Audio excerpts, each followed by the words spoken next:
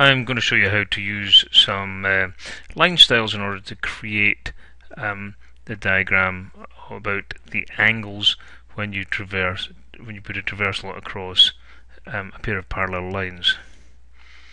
So if I draw a pair of lines which are going to be made parallel and a third line which is going to be across those two lines uh, first thing I don't want uh, the endpoints. So I'm going to select all these endpoints and hide them. I right click, uh, say hide. They've gone away. Second thing, I'd like all these lines to have arrows uh, at either end. So if I go into arrowheads, start and end points, and pick up these arrows. Uh, now I'd like these two lines to be uh, parallel.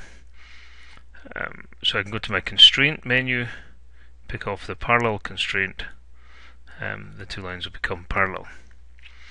Now I would like to um, put an angle annotation, a congruent angle annotation. That's this guy here.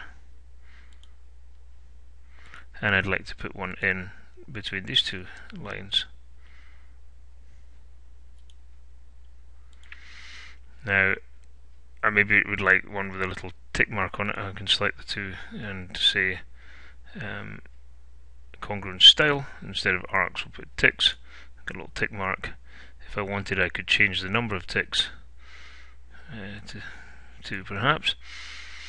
Um, and if I wanted, uh, instead of having this pair of angles, to have this pair of angles, I could just uh, move it around. Okay, I'll just get that into my Word document, copy region,